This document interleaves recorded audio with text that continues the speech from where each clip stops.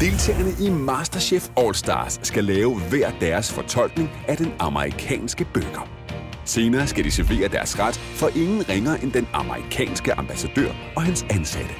Og uret, det tigger. 8 taler. Fisk. Tænk på, at du får nogle dejlige overarm af det, ikke? Fisk. Kom, bliv ved, bliv ved, bliv ved, bliv ved. Kom nu, kom nu, kom nu. Min puls, den kører bare så hurtigt. Det, det er virkelig hårdt, og man vil jo gerne gøre sit bedste, ikke? En. Træd tilbage fra jeres køkkener. Den amerikanske ambassadørbolig i Nordsjælland. Nu gælder det. Hvem har lavet en burger, der kan få mundvandet til at løbe hos inkarnerede kendere? Velkommen til Rydehave. Tak, tak. Her bor den officielle repræsentant for USA. Det er i øjeblikket Steven Alla Christina. Velkommen til. Tak. tak. tak.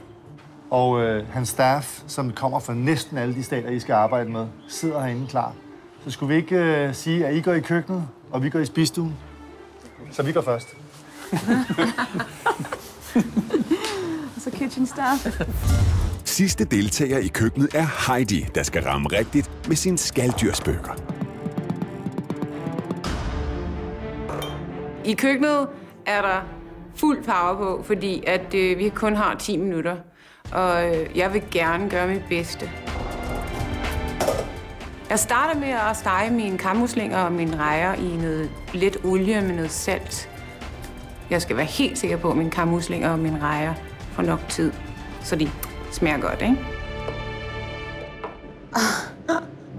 Det er balanceret, de svære skære. Fordi når du faktisk har taget det yderste lag af, så er de jo meget, meget glatte. Øh, og det lykkes med, at jeg bruger meget koncentration på den tomat. Hvor er min sovs? Ja, det vil jeg.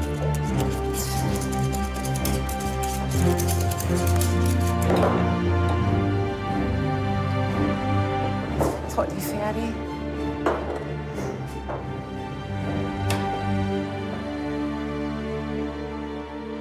Det er kun Heidi, der mangler, og hun er ved godt mod.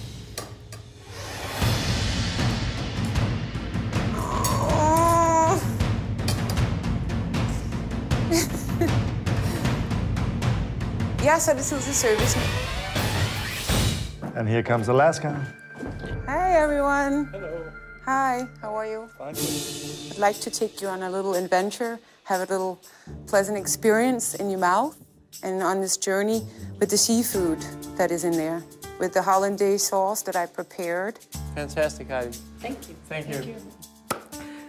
Det er simpelthen sådan en oplevelse og sådan en varm følelse ind i at komme ind og skal servere min mad foran den repræsentante ambassadør øh, her i Danmark på Masterchef. Altså, det er helt vildt surrealistisk oplevelse. It smells very good. Yeah, The fresh smells are coming up right away. it does.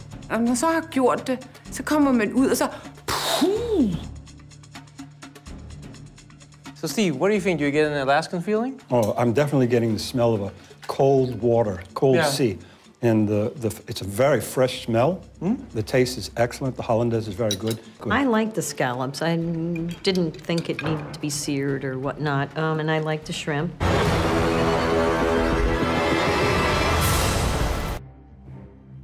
Med et flot udtryk. En god sans for regionen. For staten. Der ikke var nem. Det er. Hej.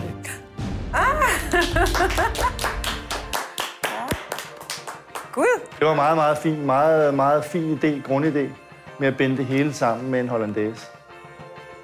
Som du øh, klarede rigtig flot. Tak. tak.